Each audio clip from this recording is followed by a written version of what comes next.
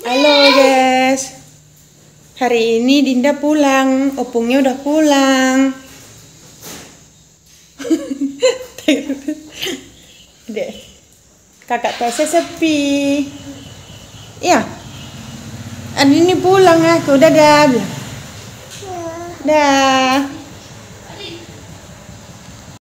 Dulu aku aku. Ma dulu bebek. Mah, Sini lagi nakku. Ma sini nakku. Anakku sini kak. Anakku kan anakku. Ini ya Roy, rumah sakit.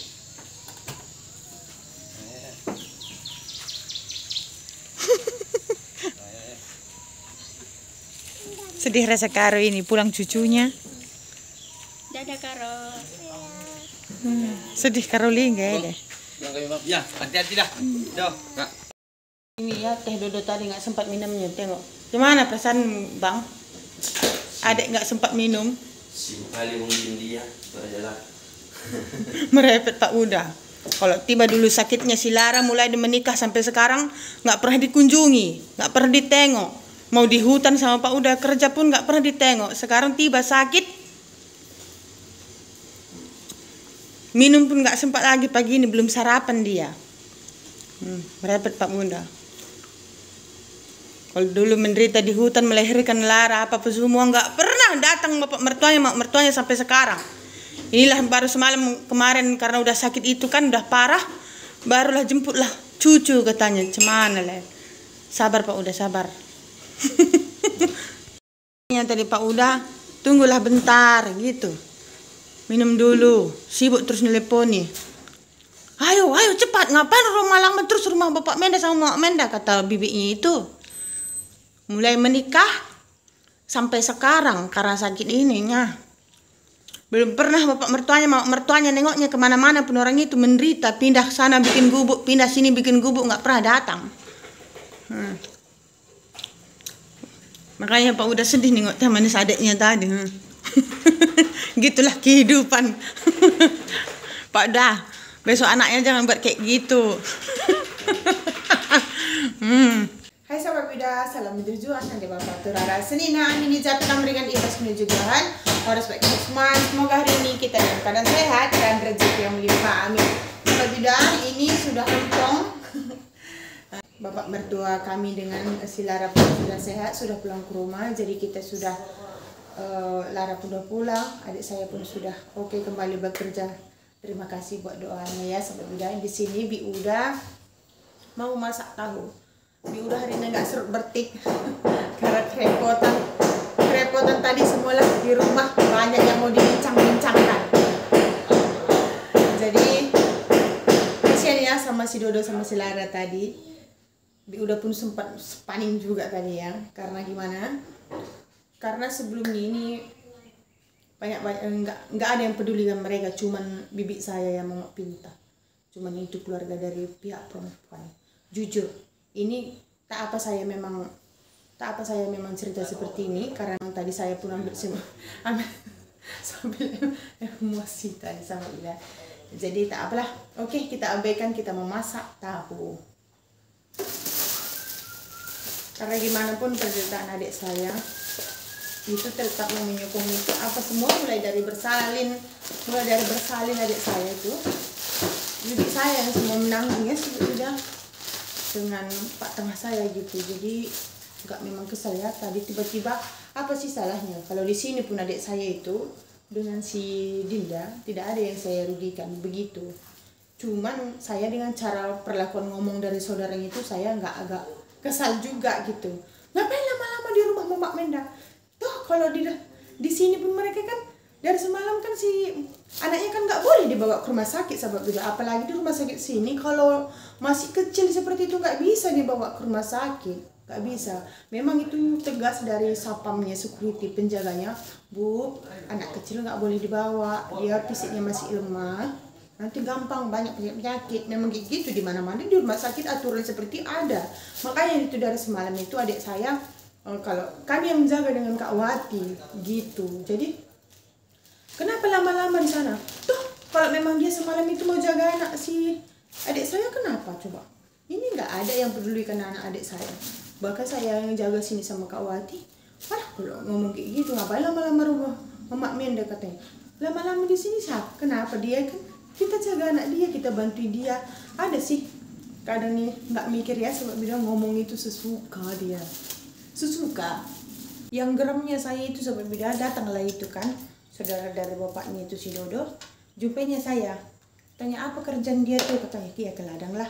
Sama Pak Uda mecah kayu kan? Dulu masa ingat mungkin yang penonton-penonton bi udah yang lama udah tau lah video kami yang di hutan itu tukang masak dengan si Lara. Udah tahu udah nampak lah ya. Jadi katanya kayak gini ngapa dibawa-bawa ke hutan kerja? Katanya bibitnya itu kan. Ngapa? Katanya itu semalam itu kan ada kerjaan di eh, Kerinci ada kerjaan bawa supir supir truk besar gajinya ini bawa, bawa ke hutan. Kapan meningkatnya? Katanya kok dia saya marah sama saya gitu? Ya buktinya sampai sekarang nggak dibawanya. Nya itu ada ipar itu untuk uh, jadi supir ke kerinci itu kan jangan kesal saya sebab udah disalahkan saya terus kayak, mana kayak gitu ya? Jangan disalahkan orang lah gitu. Kita niat bantu malah saya pula disalahkan ya. Itu Pak um, Bapak Mendak kenapa bawa ke hutan? Kapan meningkatnya? Kalau kerja ngupah-ngupah aja katanya langsung sama saya. Coba bibitnya itu buktinya sampai sekarang bahkan uang uang melahirkan uh, Sila Raja nggak ada yang bantu. Sana sini sana sini pindah adik saya nggak adanya dia bantu sampai sekarang. Udah lama juga nya udah setahun lebihnya pak. Udah nggak sama adik ipar itu kerja kan buktinya nggak ada yang dibantu dia.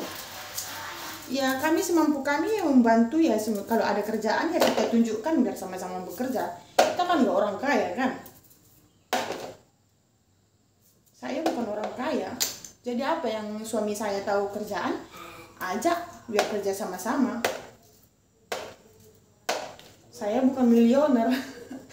Jadi ya kerja bertani kita aja bertani ya sama bida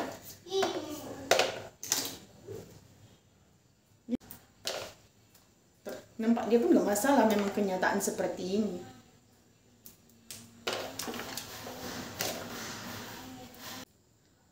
ceritanya kayak gini kan. Kayak mana lah mau sukses itu semua kalau kerjanya pun ngupah-ngupah kerjanya pun bertani-bertani gitu katanya. Kalau heran aku. Ya mau saya mau kayak mana ya beginilah. Saya begini pun bersyukur sampai bila bersyukur sekali. Yang penting saya sehat diberi kesehatan. Ya anak-anak sekolah gitu sampai bila udah bersyukur saya mau apa pun kata orang kerjaan saya mau kerjaan seruk bertik di pandang-pandang rendah.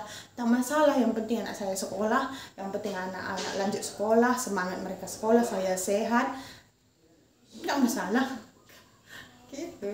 Daripada mencuri. Oke kita udah siap bikin bumbunya.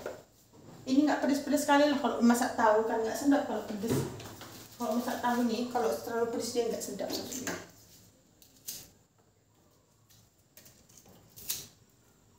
Pak Uda pun karena Pak Uda itu jarang loh sama orang kesal. Tapi kali ini tadi memang kesal kali Pak Uda tuh. Sempat adik saya adik ipar nggak sempat minum lagi dibentak Three, two, one. ngapain lama-lama di situ? Padahal di sini pun adik saya nitipkan anaknya mu- saya mengurus anaknya dengan Kak Wati.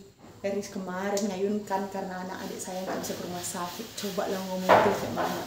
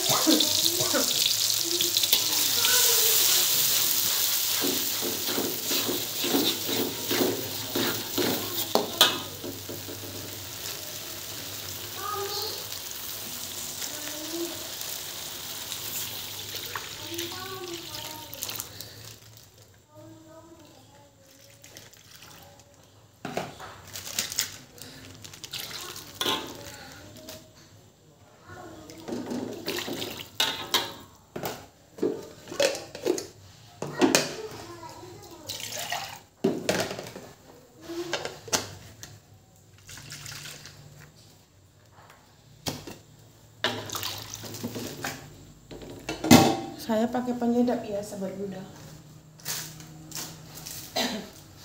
Kita pakai penyedap rasa. Kalau abang saya, abang ipar, dia pakai penyedap rasa masak. Jadi mulut kita ini nggak bisa kita mulut kita aja kita inginkan kan. Biar udah tidak, tapi kalau ada abang ipar saya pakai penyedap rasa.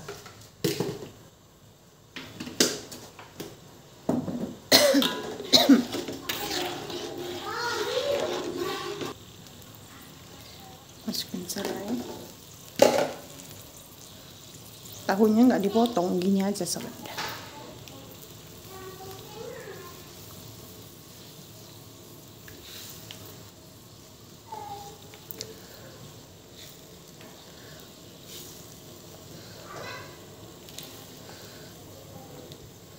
nanti saya mau ngambil uang betik saya karena mau ke pasar nanti sahabat. Udah apa pun udah habis ikan teri udah habis nanti ke pasar malam-malam. Kalau pasar malam di sini dia agak murah ikan-ikan teri ikan-ikan kan? Kalau siang gini nggak nggak pala murah kan beda mahal-mahal masih kan? Kalau di pasar malamnya nanti agak adalah 15 menit naik kereta dari rumah kita. Di dekat rumah kita ini kan pasar induknya minum teh manis adik ipar. Nggak jadi tadi diminumnya. Sayang kan mubazir. Mubazir sayang.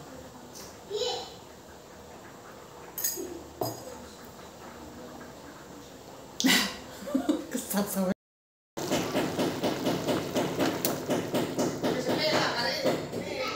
udah masak sahabat udah ini sayur kita untuk siang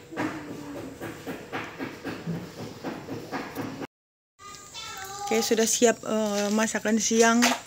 Biar makan ini udah eh, lanjut ke rasa pertama. Bang ini membuat eh, udah kerangka-kerangka pelapon. Dan merelip itu yang ada bolong-bolong udah ditempel-tempeli semua semen-semen.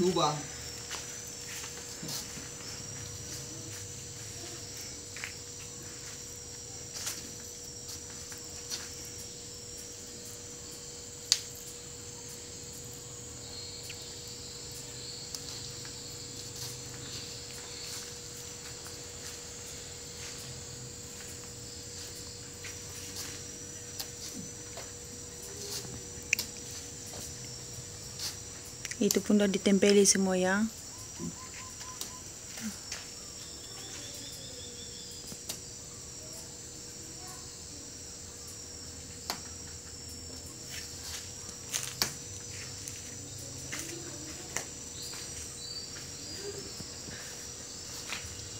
Oke, seperti ini perkembangannya sampai siang ini.